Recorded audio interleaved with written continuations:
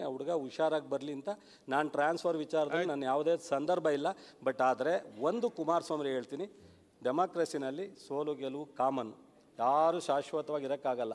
ಈ ದೇಶದ ಎಂತೆಂಥ ನಾಯಕರು ಸೋತಿದ್ದಾರೆ ಅಧಿಕಾರವನ್ನು ಯಾರೂ ಶಾಶ್ವತವಾಗಿ ಆಳೋಕ್ಕಾಗಲ್ಲ. ಎರಡು ಸೀಟ್ ಇದ್ದಂಥ ಬಿ ಜೆ ಪಿ ಇವತ್ತು ಹತ್ತು ವರ್ಷ ಕೇಂದ್ರದಲ್ಲಿ ಸರ್ಕಾರ ಮಾಡಿದೆ. ನಲವತ್ತೈವತ್ತು ವರ್ಷ ಆಡಳಿತ ಮಾಡಿದಂಥ ಕಾಂಗ್ರೆಸ್ಸು ಇವತ್ತು ವಿರೋಧ ಪಕ್ಷದಲ್ಲಿ ಕೂತ್ಕೊಳ್ತಕ್ಕಂಥ ಅವಕಾಶ ಇದೆ. ಜನರು ತೀರ್ಮಾನ ಅರಿತಿದೆ ಕಳೆದ ಬಾರಿ ನಾವು ಯಾರೂ ಎಕ್ಸ್ಪೆಕ್ಟ್ ಮಾಡಿರಲಿಲ್ಲ. ಮಾಧ್ಯಮದವರು ಕೊಟ್ಟಿರಲಿಲ್ಲ. ಎಂಬತ್ತು, ತೊಂಬತ್ತು ಅಂತಿದ್ರು. ಬಿ ಜೆ ಪಿ ಹಿಂದೆ ಇದೆ ಅಂತಿದ್ರು. ಅವರು ನಲವತ್ತು, ಐವತ್ತು ಅಂತಿದ್ರು. ಇವತ್ತು ನೂರ ಮೂವತ್ತೈದು ಕೊಟ್ಟಿದೆ. ಜನರ ತೀರ್ಮಾನ ಏನು ಅಂತ ನಾವು ಯಾರೂ ಅರ್ಥ ಮಾಡ್ಕೊಳ್ಳೋಷ್ಟು ಇನ್ನೂ ಪ್ರಜ್ಞಾವಂತರಾಗಿಲ್ಲ. ಇನ್ನೂ ಜನಪ್ರತಿನಿಧಿಗಳು, ಜನ ನಮಗಿಂತ ಪಾಸ್ಟ್ ಇದ್ದಾರೆ ಯಾರನ್ನು ಯಾವಾಗ ಎಲ್ಲಿ ಕೂರಿಸ್ಬೇಕು ಅಂತ ತೀರ್ಮಾನ ಮಾಡ್ತಾರೆ. ಬಟ್ ಲಘುವಾಗಿ ಮತ್ತು ಇನ್ನೊಬ್ಬರನ್ನ ತೇಜೋವಜೆ ಮಾಡೋದು ಇನ್ನೊಬ್ಬರ ಬಗ್ಗೆ ಇಂಥದ್ದು ಅವಕಾಶವನ್ನು ಉಪಯೋಗಿಸ್ಕೊಂಡು ಇವನ ರಾಜೀನಾಮೆ ಅವನ ರಾಜೀನಾಮೆ ಇದು ಈ ಥರದ್ದೆಲ್ಲ ಕ್ರಮ ಪತ್ರಿಕೆಯಲ್ಲಿ ಹೋಗೋದು ಪೆನ್ ಡ್ರೈವ್ ಇಟ್ಕೊಂಡಿದ್ದೀನಿ ಅನ್ನೋದು ಎಂಥದೋ ಇದನ್ನು ವಿಡಿಯೋ ಮಾಡಿಸಿದ್ದೀನಿ ಅನ್ನೋದು ಇದನ್ನೆಲ್ಲ ಬಿಡ್ಬೇಕ್ರಿ ಕುಮಾರಸ್ವಾಮಿ ಅವರೇ ಬೇಡ.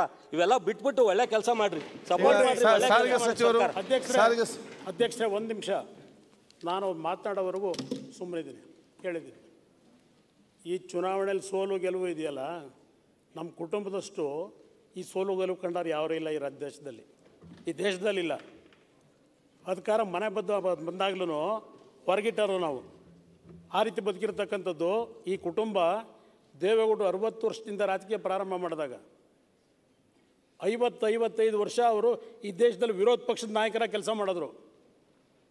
ಮಂತ್ರಿ ಸ್ಥಾನ, ಮುಖ್ಯಮಂತ್ರಿ ಸ್ಥಾನ ಹುಡುಕೊಂಡು ಹೋಗಿದ್ದಲ್ಲ ದೇವೇಗೌಡರು. ಇವತ್ತು ಎಂಬತ್ತೊಂಬತ್ತು ದೇವೇಗೌಡರು ಎರಡು ಕಡೆ ಸೋತಿದ್ರು. ಎರಡು ಕಡೆ ಸೋತರು ಎರಡೇ ಸೀಟ್ ಗೆದ್ದಿದ್ದು. ಐದೇ ವರ್ಷದಲ್ಲಿ ಈ ಕುಟುಂಬ ಕೆಂಪು ಕೋಟೆನೂ ಆಯರ್ ಆರೋಗ್ಯ ಧ್ವಜ ಅಷ್ಟಂತ ಇತಿಹಾಸ ಈ ಕುಟುಂಬಕ್ಕೆ ಇಟ್ಕೊಂಡಿದ್ದೀವಿ ಅದು ಕಾಂಗ್ರೆಸ್. ಯಾವ ಕಾಂಗ್ರೆಸ್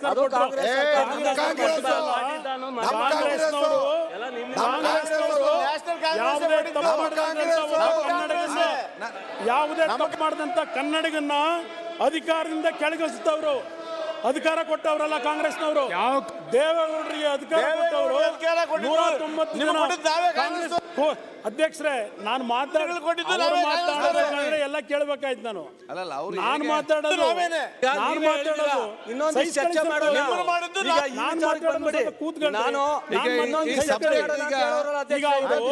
ಕೊಡಿ.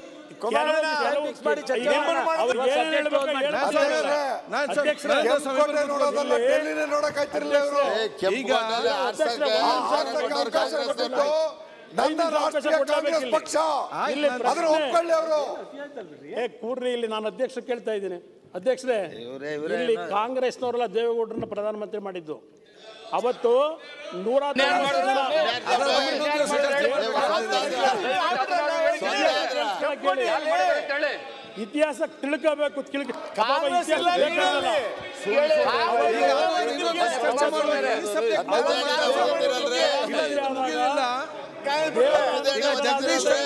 ಚರ್ಚೆ ಮಾಡಿ ಮಾಡುವ ಅವತ್ತು ಕಾಂಗ್ರೆಸ್ ನೂರ ನಲವತ್ತು ಸ್ಥಾನ ಕಾಂಗ್ರೆಸ್ ನೂರ ಸ್ಥಾನ ಜನ ಬೇರೆ ಪಕ್ಷಗಳು ಬೆಂಬಲ ಕೊಟ್ಟಿದ್ದಿಂದ ದೇವೇಗೌಡ ಅರ್ಜಿ ಹಾಕೊಂಡು ಹೋಗಿದ್ರ?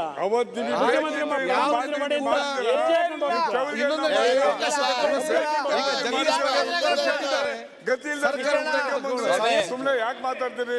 ಇಲ್ಲಿ ಯಾಕೆ ನಾನು ಯಾಕೆ ದಯವಿಟ್ಟು ಸಮಾಧಾನವಾಗಿ ಕೇಳಬೇಕು. ಸಮಾಧಾನವಾಗಿ ಕೇಳಬೇಕಿಲ್ಲಿ ಇಲ್ಲಿ. ಪ್ರಶ್ನೆ, ಪಾಪ ಹುಡುಗನ ಬಗ್ಗೆ ಅನುಕಂಪ ಏನು ಹೇಳ್ತಾ ಇದ್ದಾರೆ? ನಾನು ನಿನ್ನೆ ದಿನ ಯಾವ ಡಾಕ್ಟ್ರಿಗೆ ಫೋನ್ ಮಾಡಿದ್ದೇನೆ, ಅವ್ರ ಕುಟುಂಬದ ಸದಸ್ಯರಿಗೆ ಮಾತನಾಡಿದ್ದೇನೆ, ಅದೆಲ್ಲ ವಾಯ್ಸ್ ರೆಕಾರ್ಡ್ ಇರುತ್ತೆ. ನಾನು ಏನು ಮಾತನಾಡಿದ್ದೇನೆ, ಆ ಕುಟುಂಬಕ್ಕೆ ಡಾಕ್ಟ್ರ್ ಹತ್ರ ಏನು ಮಾತನಾಡಿದ್ದೇನೆ ವಾಯ್ಸ್ ರೆಕಾರ್ಡ್ ಇದೆ ಅಲ್ಲಿ.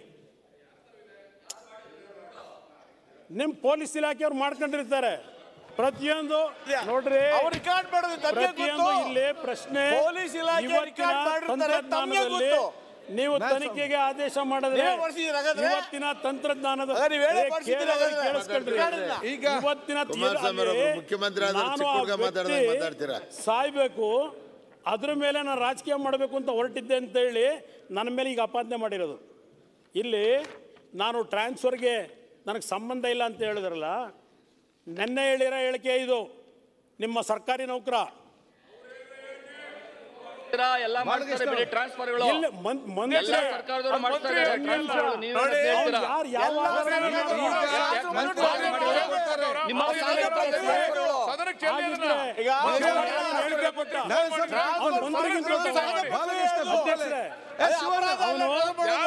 ಅವ್ನು ಮಂತ್ರಿಗಿಂತ ಸರ್ಕಾರಕ್ಕಿಂತ ದೊಡ್ಡವನ.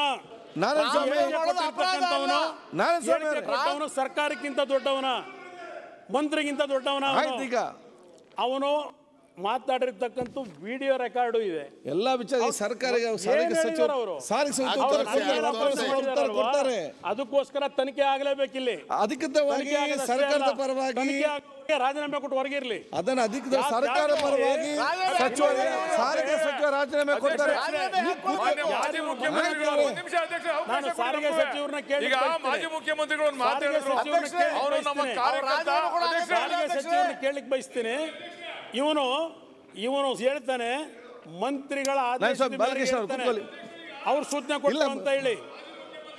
ಮಂತ್ರಿಗಳ ಸೂಚನೆ ಮೇರೆಗೆ ನಮ್ಮ ಅಂತ. ಕಾರ್ಯಕರ್ತ ಅದಕ್ಕೆ ನಾನು ಓದೆ ಅಂತ ಹೇಳಿದ್ರು. ದಯಮಾಡಿ ಕೇಳಿ ಅಧ್ಯಕ್ಷರೇ. ಅವ್ರ ಕಾರ್ಯಕರ್ತ ಆಗಿದ್ರೆ ಅವ್ರ ಕಾಳಜಿ ಇದ್ದಿದ್ರೆ ಆ ಹಾಸ್ಪಿಟ್ಲಿಂದ ಹೈಟೆಕ್ ಹಾಸ್ಪಿಟಲ್ ಅವರೇ ಅದನ್ನೆಲ್ಲ ಕೂಡ ಚಲೋ ಸಮ ಹೇಳಿದ್ದಾರೆ. ಮತ್ತೆ ಮತ್ತೆ ಯಾಕೆ ಹೇಳ್ತೀರಿ? ಮತ್ತೆ ಮತ್ತೆ ಯಾಕೆ ಸಮ ಹೇಳಿದ್ದಾರೆ ಹಿಂದೆ ವಿಚಾರವನ್ನು ಏನಿತ್ತು? ಈಗ ಸರ್ಕಾರ ಏನಿತ್ತು? ವರ್ಗಾವಣೆ ಬಗ್ಗೆ ಸ- ಸಾರಿಗೆ ಸಚಿವರು ಉತ್ತರ ಕೊಡ್ತಾರೆ. ಒಂದು ನಿಮಿಷ ಅಧ್ಯಕ್ಷರೇ ನನ್ನ ಜೀವನದಲ್ಲಿ ಲಕ್ಷಾಂತರ ಬಡ ಕುಟುಂಬಗಳ ಜೀವ ಉಳಿಸಿರೋನು ನಾನು. ಎಲ್ಲ ಸರಿ ಈಗ ಇಲ್ಲ ಈ ತರ ಬಂದಿಲ್ಲ. ಮಾಡಿದ್ದಾರೆ ಬಂದಿಲ್ಲ. ಈಗ